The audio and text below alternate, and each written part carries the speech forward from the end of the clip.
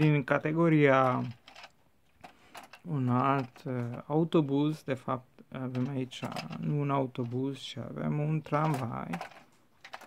Un tramvai produs în Japonia, după cum se vede pentru piața japoneză.